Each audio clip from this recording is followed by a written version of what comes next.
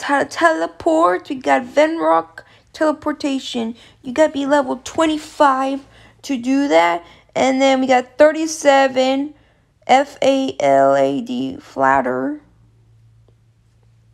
teleportation. So we're going to do them, guys. We're going to do... This is the Varrock. And here's the next one. What you're going to need, guys. You're going to need air runes, law runes, and water runes. You can buy that at the GD. So a lot of people just been teleporting here. Um, and that's what I'm going to do, guys. Now, I am going to get rid of some of this stuff. You don't need this if you don't need to. And there yeah, you just keep clicking, guys, until you run out of runes, and then you just keep buying more, guys. That's it, guys. It's just air runes, law runes, water.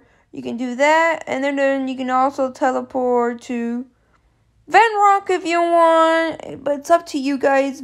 Um, it depends what level you are. Remember the levels that you gotta be, guys. Remember. Varrock, you gotta be 25. The next one, you gotta be 31. That's for Lumbridge. And then 37.